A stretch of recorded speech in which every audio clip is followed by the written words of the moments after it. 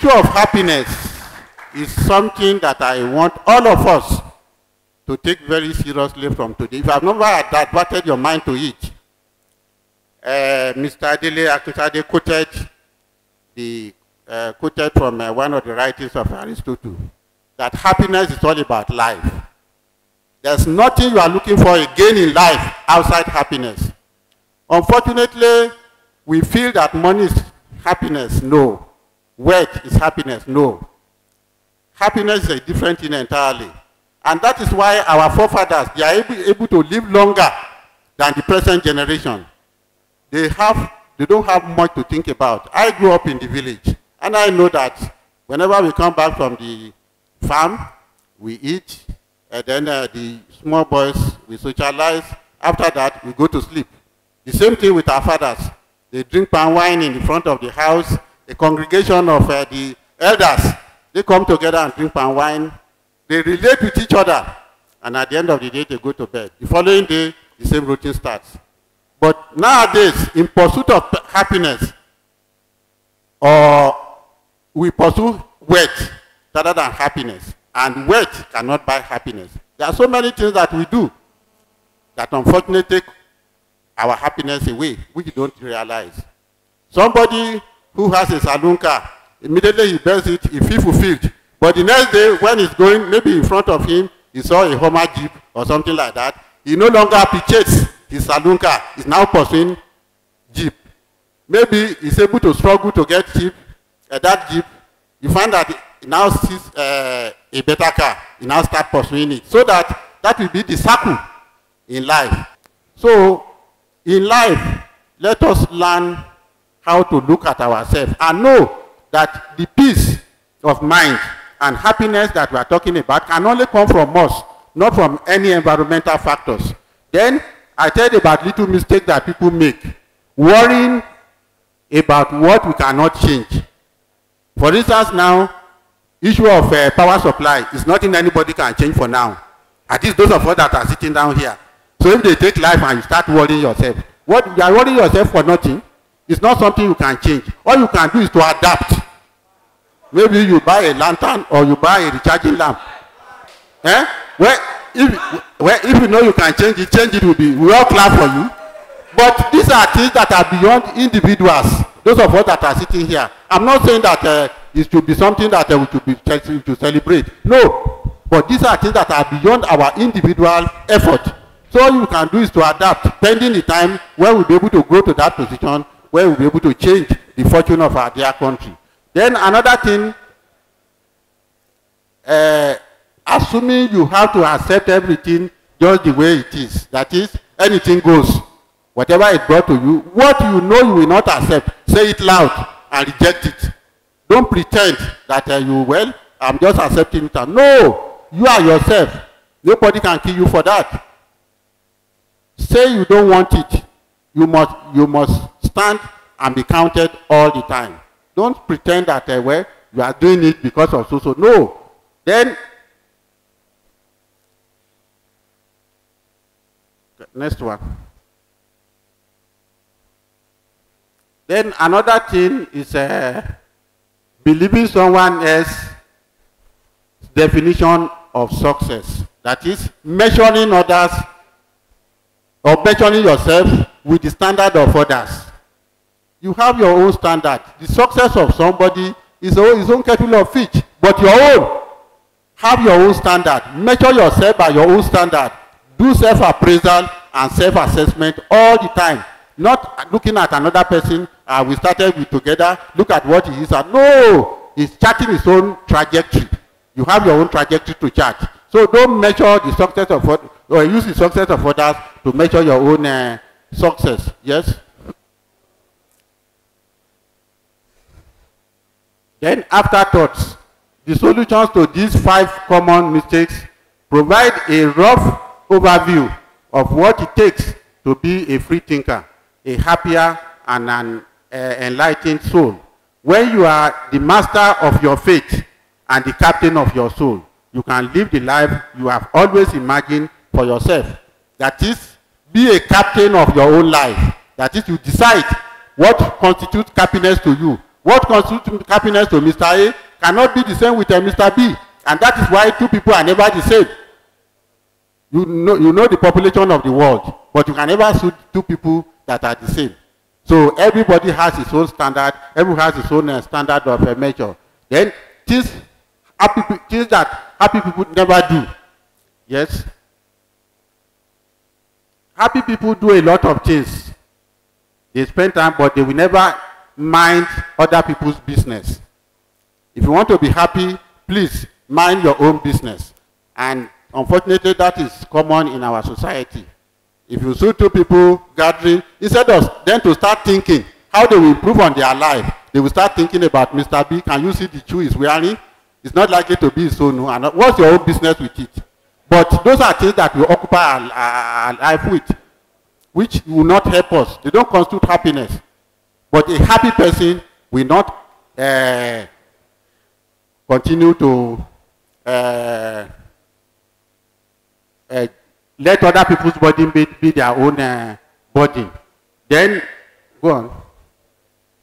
Then habits you must quit to be happy. If you want to be happy, there are certain things that you must quit.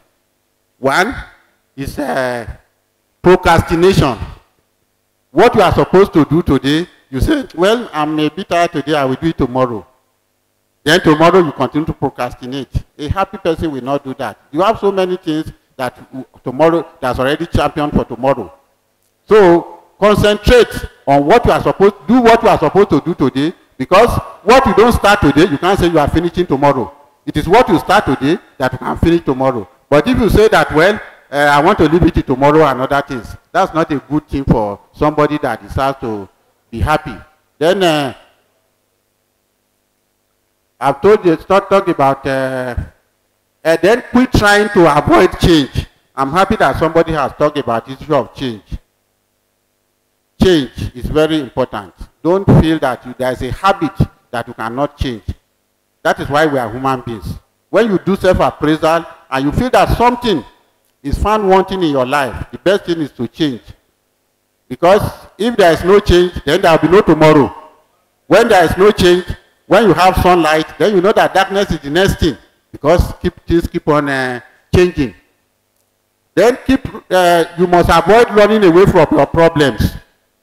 When there is a problem, face it squarely and try to solve it. Because by the time you start running, running away, you are only pushing it forward.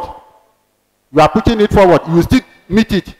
What constitutes happiness to Mr. A cannot be the same with uh, Mr. B. And that is why two people are never the same. You know, you know the population of the world, but you can never see two people that are the same.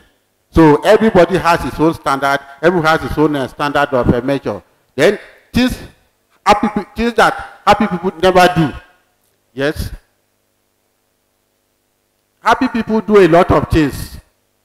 They spend time, but they will never mind other people's business.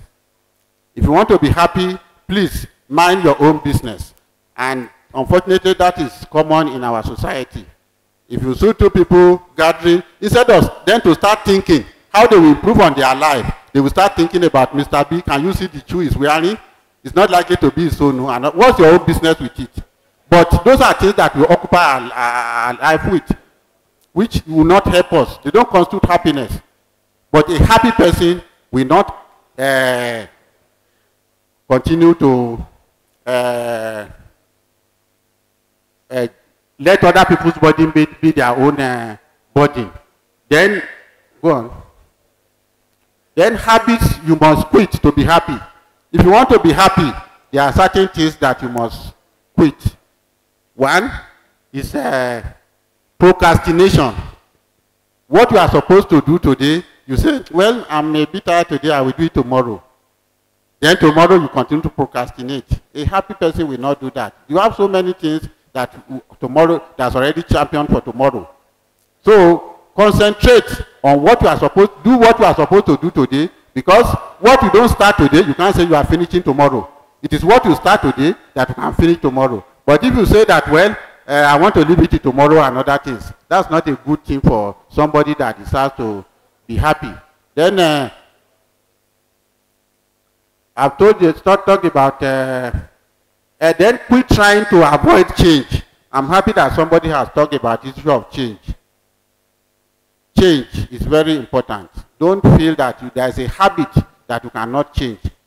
That is why we are human beings.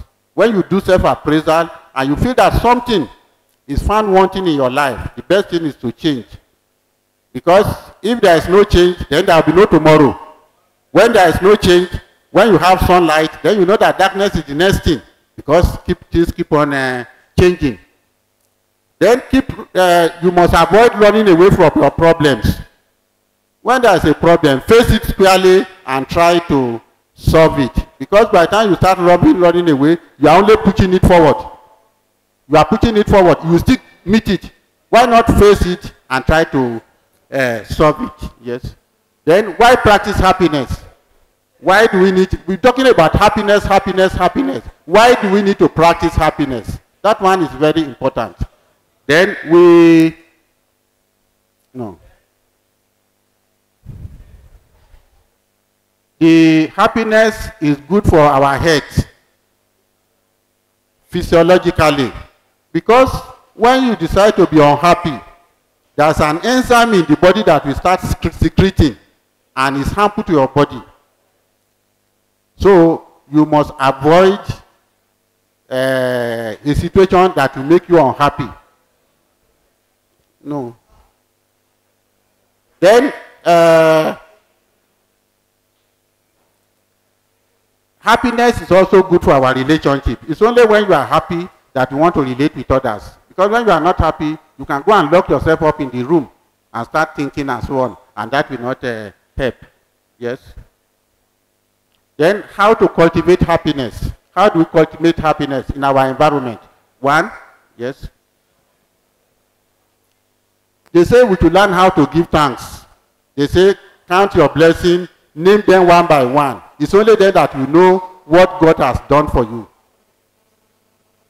One way you can be happy and be satisfied with life is for you to count those things that you have been able to achieve, those things that God has done for you. When you name them, even having good health, I think is uh, the greatest uh, source of happiness that anybody can have. Those of us that are alive and we are kicking, we may not be able to appreciate that. But when you go to the hospital and see some people that have been there for months, maybe they their hands, their legs hang, hung up, then you will know that you have something to be happy about. You give you inner satisfaction that you are even, uh, then practice kindness. I've talked about that. Kindness. Try to make other people happy. Assist them out. Then give up grudges. Grudges. Uh, I will tell you a small story. When we were in secondary school, uh, I had uh, a rough time with a friend. Then when exam came, and we are supposed to write name and exam number. So he was the one directly behind me when we were submitting our scripts. So after I submitted my script, I went away. He submitted his own.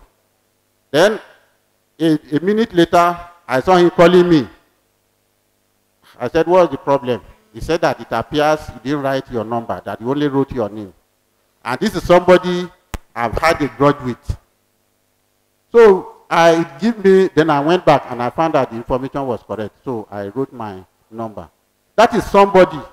If he had behaved the way I behaved, maybe it would have been another thing else. But he summoned courage to bring it to my attention that I didn't write my number. So let us try to avoid grudges. It will not take us anywhere. Avoid malice.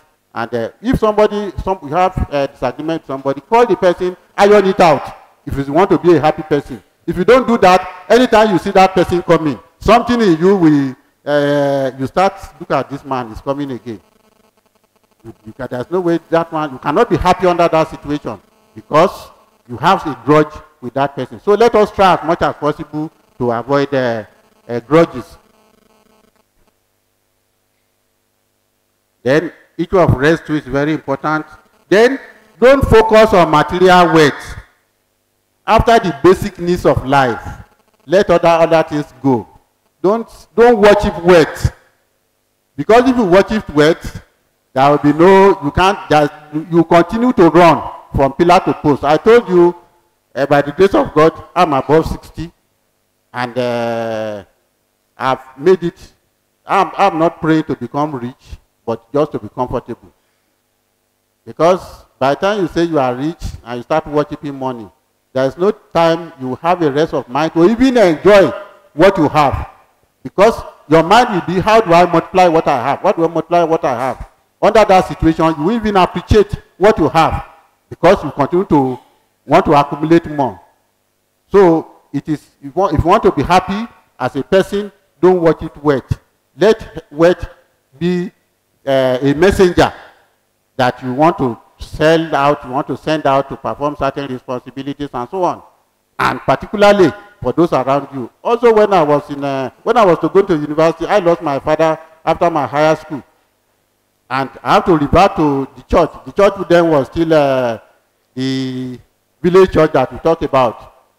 They gave me a loan, though the amount was small, but it played a role in my life. And with that, I made up my mind that whatever I can do to assist anybody who has a source in that church, and that's what I've been doing since then. Because if not for that uh, role that was played in my life, maybe it would have been a different thing entirely. So, giving assistance to others, let us make it a habit. At times people will say that, well, I will do that when I become rich. They say somebody who will not help when he becomes rich, will start, or somebody who will assist people when he becomes rich, it is now that he has a small that he'll be able to give something out of the small that he has so that he'll be able to benefit uh, others. If you don't do that and you are waiting for when you become that habit will be, become innate in you and then you feel that uh, it's no longer necessary or you won't have the uh, habit of uh, giving out. So ladies and gentlemen, issue of happiness is something that all of us, we have to pursue if you want to live long. May God help us. Thank you very much.